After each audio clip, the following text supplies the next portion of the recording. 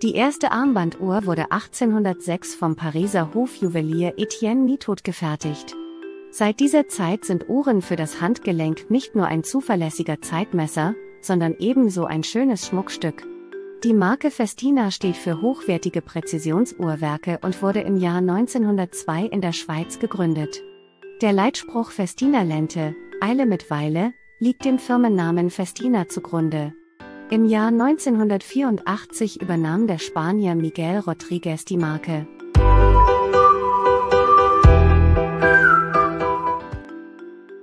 Das erste Produkt auf unserer Liste ist Festina F203822 Damenuhr sehr gut.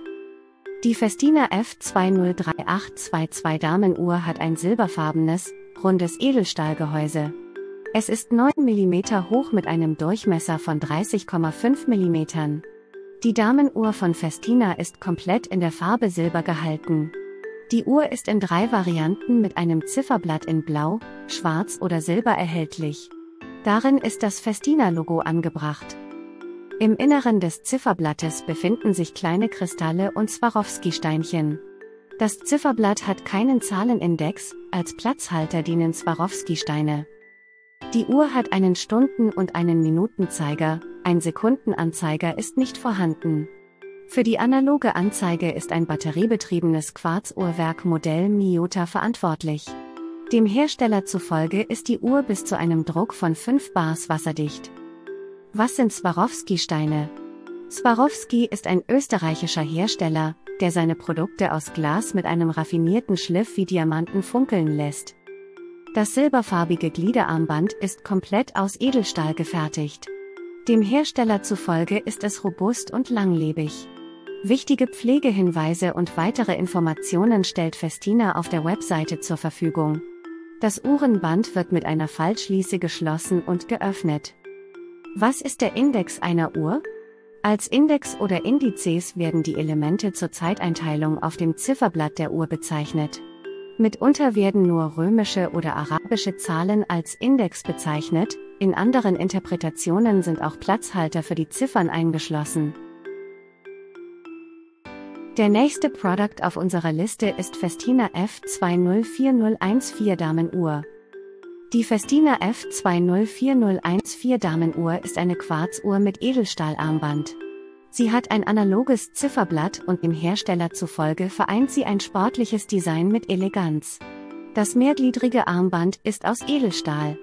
Es ist 9 mm breit und wird mit einer Fallschließe geschlossen. Der Chronograph ist aus der Serie Boyfriend und besitzt einen Gehäusedurchmesser von 36 mm. Was ist die Boyfriend-Serie? Haben Damenuhren eine sportliche oder männliche Optik, werden sie als Boyfriend-Uhren bezeichnet. Das runde Zifferblatt aus schwarzem Perlmutt soll einen Kontrast zu dem silberfarbenen Edelstahl bieten. Die Festina Damenuhr ist mit einer Stoppuhrfunktion ausgestattet, die Sekunden, Minuten und Stunden misst. Sie wird mit drei runden Anzeigen auf dem Zifferblatt dargestellt. Die Lünette und die Stundenangaben sind mit klaren Zirkonia verziert. Die Zeiger, die Drücker sowie die Umrandungen der Stoppuhr und der Zirkonia sind in der Farbe Roségold gestaltet. Die Abdeckung des Zifferblattes besteht aus Mineralglas. Der Festina Chronograph ist wasserdicht bis zu 5 Bars. Was ist Mineralglas? Mineralglas ist ein gehärtetes Kristallglas. Mineralglas ist resistent gegen Feuchtigkeit, es kann nicht vergilben und gewährt immer einen klaren Blick auf das Zifferblatt. Im Gegensatz zu dem teureren Saphirglas ist es jedoch anfälliger für Kratzer und es kann springen, wenn die Uhr zu Boden fällt.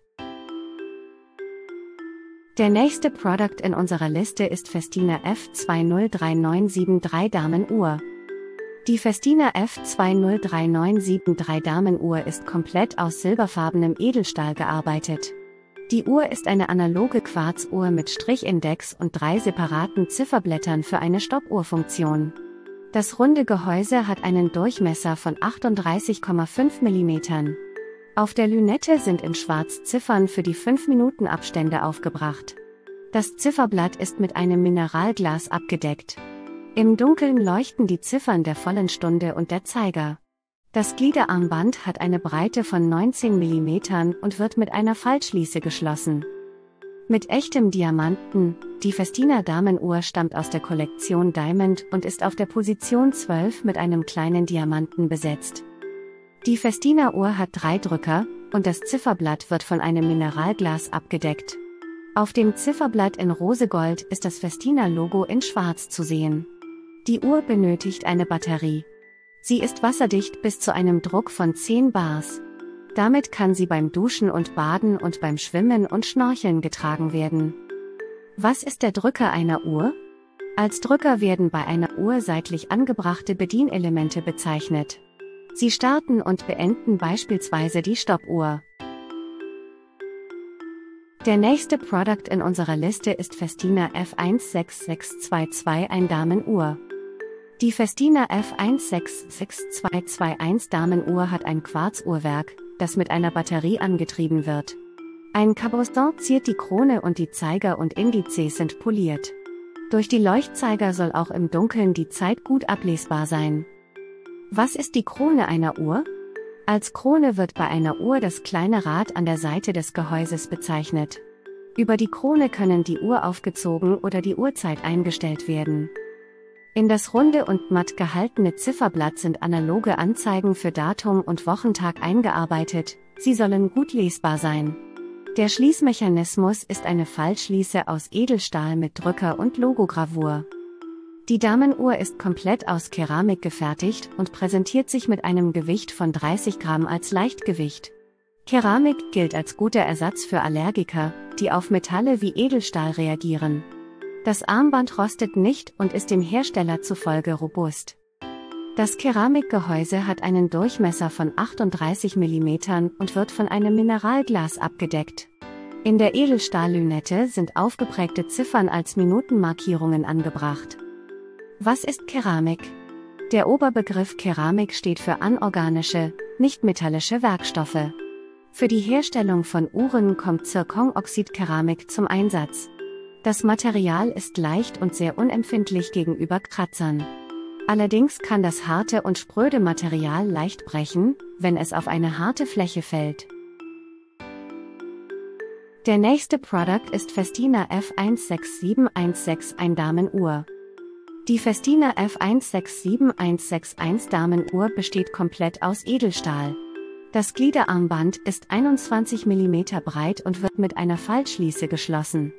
Das runde Gehäuse hat einen Durchmesser von 36,5 mm. Mit römischen Zahlen, der Index der Festina-Uhr ist mit großen, römischen Zahlen angegeben.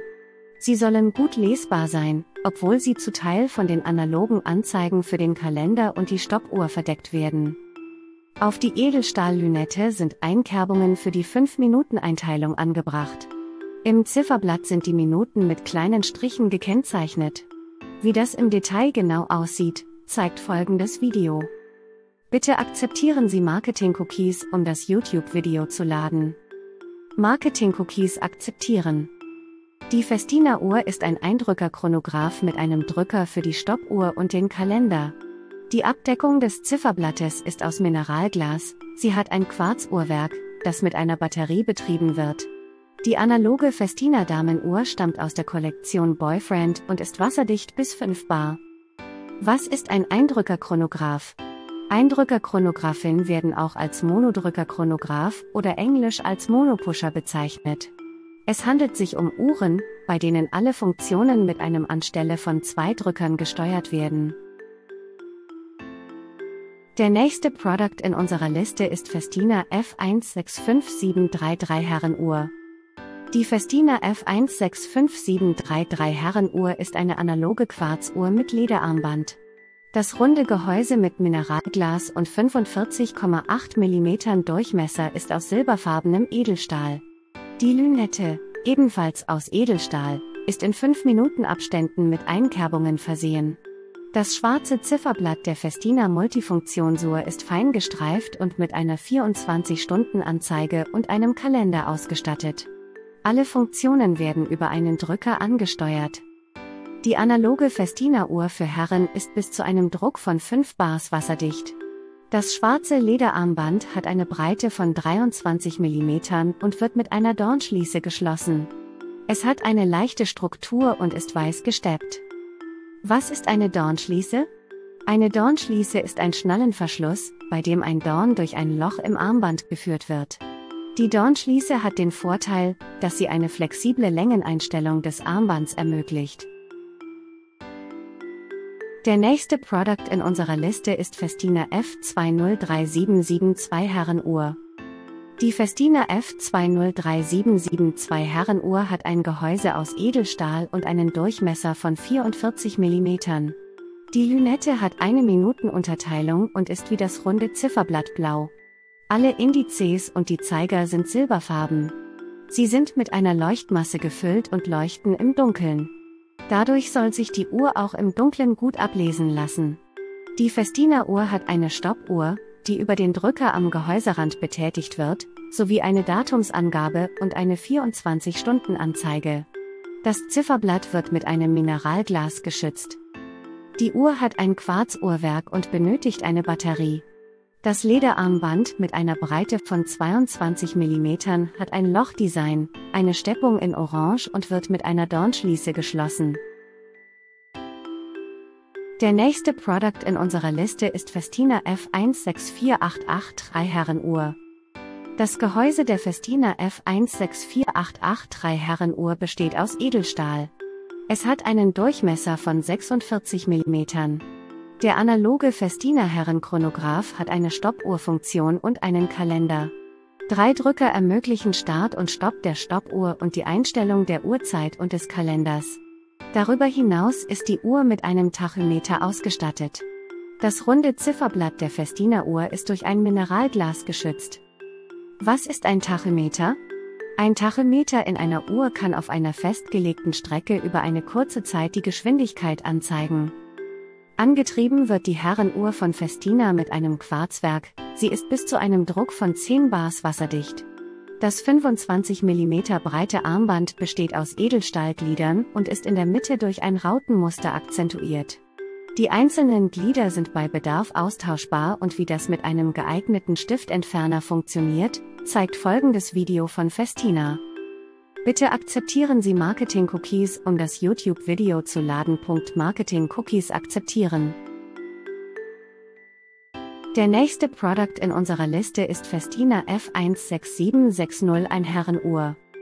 Die analoge Festina F167601 Herrenuhr hat ein Gehäuse aus Edelstahl und ein Armband aus Leder.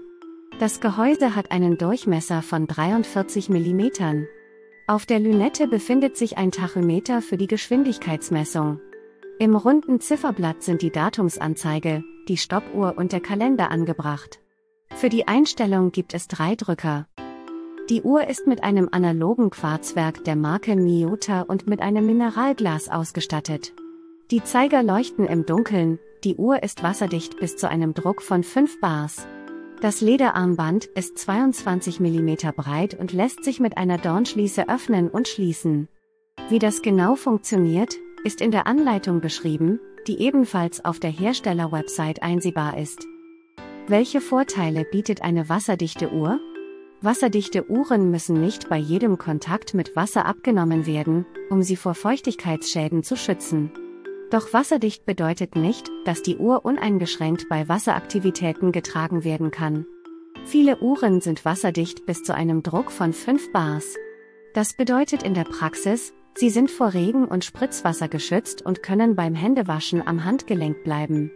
Erst wenn eine Uhr einem Wasserdruck von 10 Bars standhält, kann sie beim Baden, Duschen, Schwimmen oder Schnorcheln getragen werden. Der nächste Produkt ist Festina F203305 Unisex Uhr. Die Festina F203305 Uhr ist eine Unisex Uhr für Erwachsene. Die Quarzuhr mit Silikonarmband hat dem Hersteller zufolge ein sportliches Design und wiegt 150 Gramm. Die schwarze Lünette zeigt eine 5-Minuten-Taktung in silberfarbenen Zahlen. Das runde Zifferblatt ist mit einer Minuteneinteilung mit Strichindex, einer Datumsanzeige und einer Stoppfunktion ausgestattet. Die Stunden werden ebenfalls mit einem Strichindex angezeigt. Für die Steuerung der Funktionen gibt es drei Drücker. Geschützt wird das Zifferblatt durch ein Mineralglas. Die Festina Uhr hat ein vergleichsweise großes Gehäuse. Es ist aus Edelstahl gefertigt und hat einen Durchmesser von 47 mm. Die analoge Unisex-Uhr von Festina für Damen und Herren ist mit einem Silikonarmband mit einer Breite von 25 mm ausgestattet. Geschlossen wird das Armband mit einer Dornschließe. Der Chronograph ist wasserdicht bis zu einem Druck von 10 Bars und wird von einem Quarzwerk angetrieben. Was bedeutet Unisex? Die Bezeichnung Unisex wird für Kleidung, Accessoires und andere Produkte verwendet, die sowohl für Damen und Herren geeignet und nicht geschlechtsspezifisch auf eine Zielgruppe ausgerichtet sind. Der nächste Produkt in unserer Liste ist Festina F20519 ein Herrenuhr. Die Festina F205191 Herrenuhr ist mit einem schwarzen Gehäuse und einem braunen Armband ausgestattet. Das Gehäuse hat eine runde Form und wird aus Edelstahl gefertigt. Das Armband besteht aus Leder und lässt sich mit einer Dornschließe verschließen. Die Herrenuhr ist bis zu einem Druck von 10 Bars wasserdicht. Sie ist mit einem Quarzuhrwerk ausgerüstet und zeigt die Uhrzeit analog an. Das Ziffernblatt ist blau und wird durch ein Mineralglas geschützt. Weitere Ausstattungsmerkmale sind die Datumsanzeige und die Stoppfunktion. Was ist eine PVD-Beschichtung? Die Abkürzung PVD steht für Physical Vapor Deposition und beschreibt ein Verfahren, bei dem Materialien durch Verdampfung beschichtet werden. Die Beschichtung besteht bei Uhren meist aus Titannitrid. Titannitrid ist eine sehr dichte und harte Metallverbindung, die die Oberfläche der Uhr widerstandsfähiger machen soll. Der nächste Produkt ist Festina F203784 Herrenuhr. Die Festina F203784 Herrenuhr hat ein rundes Edelstahlgehäuse mit einem Durchmesser von 44,5 mm. Sie ist mit einer Lünette aus Edelstahl ausgestattet, die eine unidirektionale Funktion hat. Die Uhr hat ein silberfarbenes Gehäuse, ein schwarzes Zifferblatt und einen Strichindex. Zeiger und Indizes sind in den Farben Gelb und Weiß gehalten, passend dazu hat die Uhr ein gelbes Armband aus Polyurethane. Zum Tauchen geeignet, die Festina Herrenuhr ist bis zu einem Druck von 20 Bars wasserdicht. Damit ist sie nicht nur zum Schwimmen und Schnorcheln, sondern laut Hersteller auch zum Tauchen geeignet.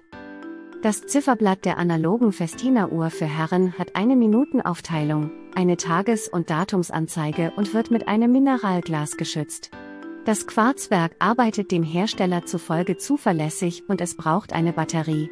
Das Armband ist 22 mm breit und wird mit einer Dornschließe geschlossen. Was ist die unidirektionale Funktion einer Lünette? Bei der Unidirektion-Allein-Funktion lässt sich die Lünette in eine Richtung drehen, meistens gegen den Uhrzeigersinn. Beim Tauchen kann damit die verstrichene Zeit gemessen werden. Halten Sie diese Liste für sinnvoll? Hinterlasse einen Kommentar für uns. Den Produktlink findet ihr in der Videobeschreibung. Denken Sie daran, den Kanal zu mögen und zu abonnieren, um über die neuesten Bewertungen auf dem Laufenden zu bleiben.